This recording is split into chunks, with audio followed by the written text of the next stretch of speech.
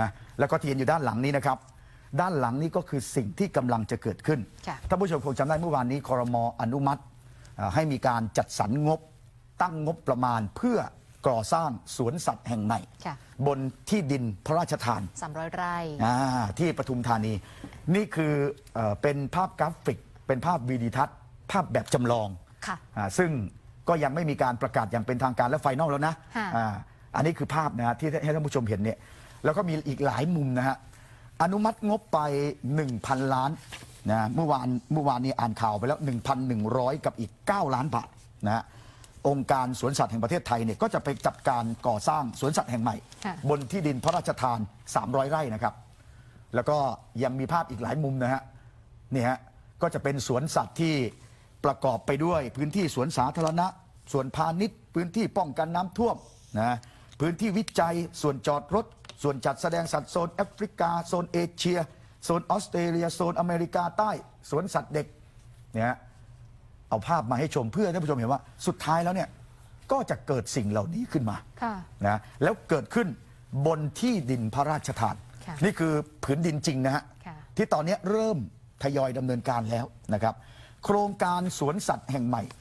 เอ่อมีการเผยแพร่ข้อมูลอยู่ในเพจโครงการสวนสัตว์แห่งใหม่นะนี่คือด้านหน้าที่ตั้งโครงการนะค่ะจะเห็นป้ายแบบนี้อยู่นะครับ แล้วก็ที่ดินแปลงเนี้ยไม่ใช่ว่าอยู่ๆคิดจินตนาการแล้วก็ออกแบบไปเลยไม่ใช่นะครับค่ะที่ดินพระราชทานแปลงนี้มีกระบวนการในการคิดออกแบบ แล้วก็คำนึงถึงสภาพแวดล้อมด้วยนะครับ นี่คือกราฟิกที่นำเสนอเรื่องราวของ Royal Bio Park ปทุมธานีชีวนิเวศ อนาคตของเราอนาคตของโลก โดยคิด จากสภาพสิ่งแวดล้อมโลก แล้วในบริบทจริงของพื้นที่ปทุมธานีนี้ ค่ะ แล้วในที่สุดก็จะออกมาเป็นรูปเป็นร่าง จัดการสิ่งที่เรียกว่าเป็นสวนสัตว์เนี่ยแต่ไม่ใช่แค่สวนสัตว์นะฮะค่ะ เนี่ยฮะเดี๋ยวลองฟังบรรยายไปด้วยนะครับ ทุ่งนาประสานพื้นที่จัดแสดงสัตว์ในรูปแบบเกาะนิเวศ ทุกชีวิตจะไม่เบียดเบียนกัน โดยกำหนดเส้นทางหลักเชื่อมเกาะ จัดส่วนแสดงสัตว์ตามระบบนิเวศ ประยุกต์ระบบคูคันใช้จัดการน้ำปรับระดับทางเดิน และสร้างที่อยู่อาศัย ให้ทางบริการสัตว์อยู่ใต้คันดิน และเซตจุดไฮไลท์ในการรับชม ด้วยพื้นที่ 300 ไร่จึงได้แบ่งออกเป็น 5 ส่วน สร้างสิ่งเหมาะสมกับพื้นที่มากที่สุด พื้นที่เข้าถึงง่ายเป็นส่วนสาธารณะ พื้นที่ถอยล่น เป็นส่วนเปลี่ยนถ่ายก่อนเข้าโครงการ พื้นที่ขนาดใหญ่และโดนรบกวนน้อยที่สุด เป็นส่วนจัดแสดงสัตว์ พื้นที่ส่วนต่อขยาย รองรับโครงการในอนาคต พื้นที่ป้องกันน้ำท่วมรอบโครงการ ทุกส่วนเพื่อความเป็นอยู่ที่ดีที่สุดของสัตว์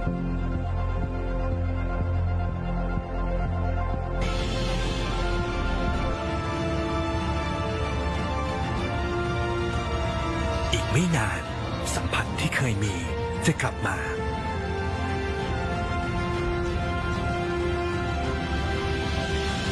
ทำให้ชีวิตได้เข้าใกล้ชีวิตกัน มากยิ่งขึ้น เพราะการสัมผัสชีวิต จะทำให้ชีวิตสัมผัสความสุข บนชีวานิเวศที่เป็นความภาคภูมิใจของคนไทยทั้งประเทศ บนทุ่งน้ำใหญ่ ห่งเดียวในโลก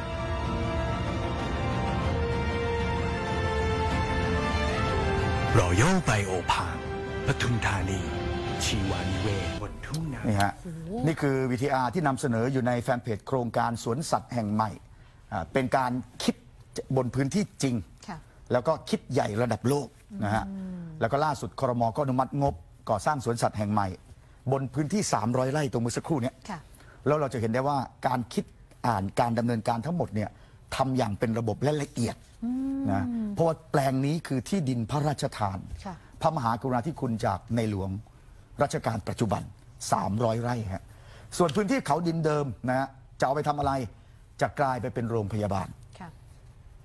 แล้วก็จะได้ดูแลสุขภาพของพี่น้องประชาชนต่อไปค่ะนะฮะนี่คือพระมหากรุณาธิคุณ เพราะฉะนั้นถ้ากลับไปที่ข้อกล่าวหาต่าง ๆ นานาเนี่ย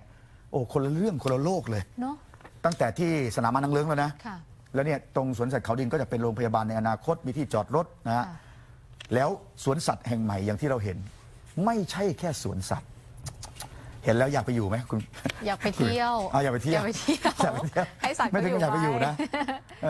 อ เฮ้ยแต่แต่มันน่าเที่ยวนะพี่ฮะหนุ่มมันดูเห็นไหม แบบน่าเที่ยวมากน่าแล้วเมื่อวานที่ยนี้ครมก็อนุมัติงบไงค่ะ นะก็เอาไปก่อสร้างเดินหน้าเต็มที่ทีนี้นะครับ ค่ะ อ่าอดใจรออีกไม่กี่ปีค่ะนะสิ่งเหล่านี้ก็จะเกิดขึ้นเช่นเดียวกันอีกหลายปีต่อจากนี้ไปเนี่ยรถไฟแต่ละสายขยายออกไปชานเมือง เติบโตขึ้นเรื่อยๆโครงสร้างพื้นฐานต่างๆนานาค่ะถ้าเสร็จปุ๊บ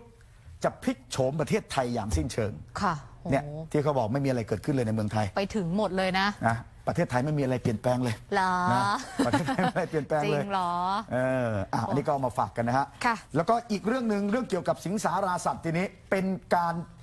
เป็นความสูญเสียนะเรื่องนี้ค่ะ เป็นความสูญเสียเสือโคร่งเพราะว่าทางด้านของเจ้าหน้าที่อุทยานแห่งชาติทองผาภูมิเนี่ยเขาไปเปิดปฏิบัติการลาดตระเวน แล้วก็ไปตรวจค้นปรากฏว่ามีกลุ่มคนแล้วก็ในายพรานเนี่ยครับไปลักลอบนะคะล่าเสือโคร่งเนี่ยค่ะ อันนี้เป็นของกลางที่ไปตรวจยึดได้ครับเหตุการณ์เกิดขึ้นตั้งแต่เมื่อวันที่ 9 มกราคมนะคะทางด้านของอุทยานแห่งชาติทองผาภูมิเนี่ยมีการส่งเจ้าหน้าที่เข้าไปลาดตระเวน เพราะว่าเขาไปตรวจพบว่า ให้มันมีควันไฟเนี่ยลอยขึ้นมา ก็เลยเข้าไปตรวจสอบ ไปเจอกลุ่มบุคคลประมาณ 5 คนนะคะ เจ้าหน้าที่แสดงตัวเข้าไปจับกลุ่มทำให้ทั้ง 5 คนเนี่ยวงแตก วิ่งหนีเข้าป่าไปเลยค่ะ แต่ว่าสิ่งที่ไปตรวจพบก็คือว่า ไปเจอแคร่ย่างเนื้อสัตว์ฮะคือกำลังย่างเนื้อสัตว์กันอยู่อะพี่หนุ่มเฮ้ยแล้วก็มีซากเสือโคร่งจำนวนสองในตัวเขตอุทยานแห่งชาติทองผาภูมินะเนี่ยค่ะ แล้วพี่หนุ่มดูเสือโคร่งสองตัวที่เขาถลกหนัง เนี่ยค่ะ เอาไปพึงคึงไว้อย่างนี้เหรอฮะเอาไปขึงเอาไว้แบบนี้ อันนี้คือหนังมันไง ครับ เนี่ยค่ะ เอาไปตากเอาไว้แบบนี้นะคะ มีแคร่ร้านย่างเนื้อสัตว์ ใช่ แล้วก็มีซากเสือโคร่งสองตัว สองตัว เจ้าหน้าที่ก็คิดว่าน่าจะเป็นเสือโคร่งที่ออกมาหากินแถวแถวๆชายแดนไทยพม่านะคะ แล้วก็ไปเจอของกลางเพิ่มเติมก็คือเป็นอาวุธปืน 4 กระบอก อุปกรณ์อื่น ๆ อีก 29 รายการนะคะ ครับ แล้วก็เจ้าหน้าที่ก็เล่าให้ฟังว่า ในระหว่างการดำเนินการของเจ้าหน้าที่เนี่ยวันที่ 11 มกราคม คือวันที่ไปตรวจเนี่ยคือ 9 มกราคม คือวันที่ 9เนี่ยเล่าเหตุการณ์เพิ่มนิดหนึ่งค่ะวันที่ 9 เนี่ยเจ้าหน้าที่เข้าไปถึงบริเวณป่าห้วยปิล็อกค่ะนะฮะในเขตอุทยานทองผาภูมิ ห่างจากชายแดนไทยเมียนมานะประมาณสัก 3 กิโลเมตร ไม่ไกลมาก ตรวจพบกลุ่มควันไฟค่ะจึงรุดเข้าไปตรวจสอบพื้นที่ พบกลุ่มบุคคล นับได้ 5 คนค่ะ ขณะเจ้าหน้าที่กำลังจะเข้าจับกลุ่มสุนัขนำทางส่งเสียงเห่าขึ้นมาก่อน อ๋อไรไหวตัวทัน ไอ้ห้าคนนี้เลยรู้ตัวหนีนะหนีเข้าไปในป่า เจ้าหน้าที่เขาเลยไปตรวจสอบพื้นที่ทีนี้ ค่ะ ก็ไปเจออย่างที่เห็นฮะแค่ร้านย่างเนื้อสัตว์ แล้วก็ซากเสือโคร่งสองตัว ใช่ สันนิษฐานว่าเป็นเสือโคร่งในป่าเนี่ยแล้วก็พบอาวุธปืนสี่กระบอก ค่ะ อุปกรณ์การกระทำความผิดอื่น ๆ อีกรวม 29 รายการ ใช่ นั่นคือเหตุการณ์วันที่ 9 มกราจับใครไม่ได้ จับใครไม่ได้จับของกลางได้ค่ะซากเสือโคร่งสองตัว แล้วหลังจากนั้นวันที่ 11 มกราทีนี้ค่ะก็คือเมื่อวานนี้ อืมมันมีโทรศัพท์เข้ามาที่เจ้าหน้าที่นะคะบอกว่าตัวเองเนี่ยชื่อว่านายป้อม หึ ชื่อว่านายป้อมอ่าเขาบอกว่าชื่อว่านายป้อม โทรหาเจ้าหน้าที่อุทยาน ขอคืนปืนลูกซองห้านัด โดยแจ้งว่า ปืนลูกซองห้านัดเนี่ยเป็นของนายบุญถิ่น แล้วนายบุญถิ่นเนี่ยเป็นเจ้าหน้าที่อพปร เรื่องนี้ครับเจ้าหน้าที่ก็บอกว่าจะต้องมีการไปตรวจสอบนะคะ แล้วก็วันนี้เนี่ยทางด้านของเจ้าหน้าที่ได้นำซากเสือโคร่งอาวุธปืน แล้วก็ของกลางเนี่ยส่งไปให้ตำรวจแล้ว ที่สพปีล็อก เพื่อสอบสวนหาตัวผู้กระทำผิดมาดำเนินครับคดีค่ะ อ่าวันนี้มีโทรศัพท์มาตอน 16นาฬิกา31 นาทีเมื่อวานนะเมื่อวาน11 มกราค่ะ 16นาฬิกา31 นาที โทรศัพท์เข้ามาหาเจ้าหน้าที่ บอกว่าชื่อนายป้อม ค่ะ โทรเพื่อขอคืนปืนลูกซอง 5 นัดชนิด ยี่ห้อวินเชสเตอร์ ค่ะ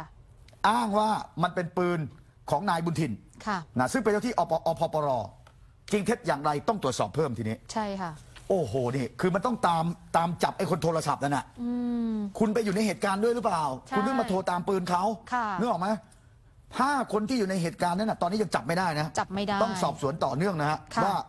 ใครเป็นใครบ้าง แล้วซากสัตว์ที่เห็นเนี่ย คือซากเสือโคร่งอะใช่ คุณที่เจ้าสัวที่ถูกจับอะเจ้าสัวเปรมชัย ตอนนี้ยังอยู่ที่ทองผาภูมิอยู่เลยค่ะยังอยู่เรือนจำทองผาภูมิอยู่เลย ตอนนั้นเสือดำที่นี่แหละ เออในพื้นที่ไม่ในพื้นที่ป่าพื้นเดียวนะมันถึงกันหมดนะ อันเนี้ยเสือโคร่งอันนั้นน่ะเสือดำค่ะ อันนี้สองตัวด้วยซ้ำเนี่ย ใช่ โอ้โหห้าคนน่ะใคร ค่ะ อันนี้ต้องทำความกระจ่างโดยเร็วนะฮะ อันนี้รายงานนี้คือเอามาจาก Facebook ของทางอุทยานแห่งชาติค่ะ นะเพราะฉะนั้นอันเนี้ยต้องคลี่คลายโดยเลยว่าความจริงเนี่ยมันมีละเอียดเพียงพอแล้วหรือยังตรงเนี้ยมันครบแล้วหรือยังค่ะ กำลังจะเข้าไปจับ เห่าหมาเห่าดังค่ะไอ้ห้าคนหนีหมดเลยฮะหนีใช่ไหมหมดเลยใช่ โอ้โห อันนี้น่าสะเทือนใจมากนะ เสือโคร่งนะค่ะเราเห็นภาพกล้องดักถ่ายท่านผู้ชมคงเห็นนะค่ะที่เขาไปติดตั้งกันอะเสือโคร่งเสือดาวเสืออะไรต่อมีอะไรผ่านไปผ่านมา แล้วมันน่ารักนะบางทีมันแวะมาจ้าเอกกล้องอะโอ้มันน่ารักถ้าเกิดว่าเราอยู่ไกลมานิดนึงโอ้อันนี้เสียดายมากนะค่ะอ่าทีนี้เรื่องของเสือโคร่งที่ถูกเจ้าที่จับได้บ้างทีนี้จับเป็นๆนะค่ะคือกรณีของเสือโคร่งที่ออกจากป่าห้วยขาแข้ง แล้วไปกัดสุนัขชาวบ้านทีนี้ ลากไปกินในไร่มัน คือคนละที่กันใช่ไหมคือมันเป็นเสือไงค่ะเอ่อมันไม่ใช่ตัวเงินตัวทองที่จะลากไปกินในน้ำ ค่ะ มันออกมาจากเขตป่าห้วยขาแข้งไปในพื้นที่ตำบลระบำอำเภอลานสักจังหวัดอุทัยธานี จุดเดียวกับที่เกิดเหตุเสือออกมากัดแพะชาวบ้านเมื่อปีที่แล้วนะปรากฏว่าเมื่อวานนี้ครับ ประมาณสักตีหนึ่ง เสือโคร่งออกจากเขตรักษาพันธุ์สัตว์ป่าห้วยขาแข้ง ไปกัดสุนัขที่บ้านบึงเจริญ ห่างจากด่านห้วยขาแข้ง 4 กิโล สุนัขเคราะห์ร้ายนอนหลับรวมกับตัวอื่น ๆ รวม 3 ตัว อยู่บริเวณลานข้างบ้านเจ้าของฮะเสือโคร่ง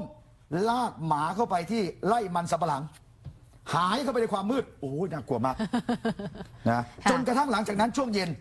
นะของเมื่อวานทีนี้ เจ้าที่ก็สนที่กำลังกันติดตาม เพราะว่าต้องระระมัดระวังด้วยเฮ้ยเสือมันมาแบบนี้ค่ะมันเริ่มจากการกัดหมาอย่างนี้นะ แล้วสัตว์เลี้ยงอื่นของชาวบ้านล่ะ ประชาชนจะปลอดภัยหรือเปล่า จนกระทั่งสามทุ่มตรวจสอบ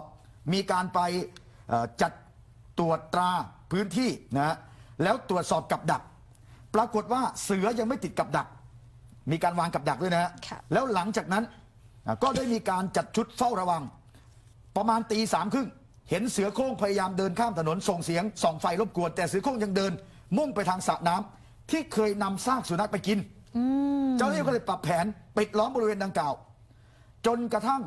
หลังจากนั้นเวลาประมาณ 6 นาฬิกา 45 นาที ไปตรวจสอบพื้นที่ที่มีกับดักอยู่ เสือโคร่งมันเดินย้อนเส้นทางมา แล้วติดกับดักฮะค่ะเจ้าหน้าที่จึงวางยาสลบ พบว่าเป็นเสือโคร่งเพศผู้ อายุ 10 ปี ถือว่าเป็นเสือที่อายุมากนะค่ะแล้วก็สุขภาพก็เป็นไปตามอายุมีรอยแผลที่ขานะ แต่ว่าประเมินแล้วไม่เป็นอุปสรรคในการดำรงชีวิตนะเจ้าหน้าที่ก็ดำเนินการฮะเจ้าหน้าที่สถานีวิจัยสัตว์ป่าเขานางรำติดปลอกคอวิทยุเพื่อติดตามตัว เพื่อตรวจสอบการเคลื่อนที่ของเสือโคร่งดำเนินการเสร็จประมาณ 9 โมงเช้านะฮะแล้วหลังจากนั้นเจ้าหน้าที่ก็ทำการเคลื่อนย้ายเสือโคร่งไปปล่อยสู่ป่าธรรมชาติ บริเวณหน่วยพิทักษ์ป่ายางแดง ห่างจากแนวเขตแดนประมาณสัก ห่างจากแนวเขตประมาณสัก 60 กิโลเมตรค่ะ นี่คือปฏิบัติการของเจ้าหน้าที่ คือไม่ใช่การไล่ล่าไล่ฆ่า แต่เป็นการเอาเขากลับบ้าน เอาเสือกลับป่าอ่าเสือต้องอยู่ในป่าค่ะนะมีเสือประเภทเดียวอยู่ในโถคือเสือ 11 ตัวเนี่ยแต่ทีนี้อีกข่าวหนึ่งอันเนี้ยค่ะเป็นข่าวของมูลนิธิสืบนาคเสถียรนะลงใน Facebook วันนี้นะคือเราเห็นเจ้าที่ดูแลป่าเจ้าที่พิทักษ์ป่าทำงานกัน จริงๆเนี่ยมีทั้งข้าราชการ แล้วก็มีทั้งเจ้าหน้าที่ที่เป็นพนักงานจ้างเหมาค่ะปรากฏว่ามีประเด็นนี้เพิ่มเติมขึ้นมา อันนี้ทางรัฐบาลเนี่ยเกี่ยวข้องด้วยนะฮะเรื่องนี้ มูลที่สืบนาคเสถียรได้มีการยื่นหนังสือถึงท่านนายกรัฐมนตรี ให้พิจารณาจัดสรรงบประมาณจ้างงานของเจ้าหน้าที่พิทักษ์ป่า โดยระบุว่ามีการปรับลดงบประมาณของกระทรวงทรัพย์นะแล้วกระทบพนักงานจ้างเหมาของอุทยาน อาจถูกเลิกจ้างสูงถึง 50%เปอร์เซ็นต์ฮะอืมค่ะนะฮะ คืองบประมาณปี 65 เหลือ 8,534 ล้าน จากเดิมปี 64 ได้งบมา 16,143 ล้าน อันนี้คืองบของกระทรวงทั้งกระทรวงนะฮะค่ะแล้วก็รายได้ของอุทยานเนี่ยนะรายได้เรื่องค่าธรรมเนียมเข้าอุทยานเนี่ยปี 64 เนี่ยมันลดลงกว่า 975 ล้านนะฮะเพราะฉะนั้นเงินทั้งหมดเนี่ยมันจะมีผลต่อการทำงานทีนี้เพ ราะต้องมีการจัดจ้างพนักงานพิทักษ์ป่า ค่ะ เป็นพนักงานจ้างเหมาอะไม่ใช่ข้าราชการ ซึ่งพนักงานเหล่านี้คือคนที่ดูแลและคุ้มครองผืนป่าและสัตว์ป่าในพื้นที่อนุรักษ์ ค่ะ คาดว่าอาจจะถูกเลิกจ้างเนี่ยกว่า 50%นะ โอ้ไม่น้อยนะ แล้วพนักงานเหล่านี้เนี่ยคือบุคคลที่ไปดำเนินการลาดตระเวนเชิงคุณภาพ ค่ะ ต้องใช้คนเดินลาดตระเวนน่ะแล้วเก็บข้อมูลในเชิงนิเวศนะฮะมูลที่สืบนาคเสถียรเนี่ย ร่วมงานกับกรมอุทยานมาโดยตลอด มองเห็นผลที่เป็นรูปธรรมในการดูแล จึงออกมาเคลื่อนไหวเรื่องนี้ ขอให้ท่านนายกโปรดพิจารณาทบทวนการจัดสรรงบสนับสนุนงบประมาณ ด้านสิ่งแวดล้อม ปีงบประมาณ 65 เพื่อให้งานต่อเนื่องอแล้วงานนี้มันเป็นงานพื้นฐานความมั่งคั่ง ความมั่นคง ในอนาคตต่อไปด้วย เป็นปัญหาระดับโลกด้วย เรื่องวิกฤตการเปลี่ยนแปลงสภาพภูมิอากาศ มันจะมีผลกระทบต่อพื้นป่าต่อไปด้วย นะฮะค่ะอันนี้เป็นการทำหนังสือเปิดผนึกเลยอาอยู่ในแฟนเพจของมูลนิธิสืบนาคเสถียรนะฮะโอ้เป็นเรื่องที่น่าตกใจมากนะ ใช่นะคือคนเนี่ยมันต้องทำงานน่ะมันต้องมีคนทำงาน แล้วถ้าเกิดหายไป 50%คือครึ่งหนึ่งอะเยอะนะ ถือว่าหายไปเยอะค่ะนะฮะอ่านี่ช่วงแรกนะครับ เดี๋ยวกลับมาช่วงหน้าครับเข้าสู่โหมด การเมืองร้อนแรง รวมไปถึงเรื่องคดีต่างๆ ตลอดวันที่มีความคืบหน้า เดี๋ยวสรุปให้ แล้วก็วันนี้ล่าสุดกรณีของรุ้งปนัสยา ค่ะ เคยได้รับการปล่อยตัวออกมา เพื่อให้มาอ่านหนังสือสอบ อืมครบกำหนดแล้ววันนี้ก็คือวันนี้ อ่าเดี๋ยวมาดูความ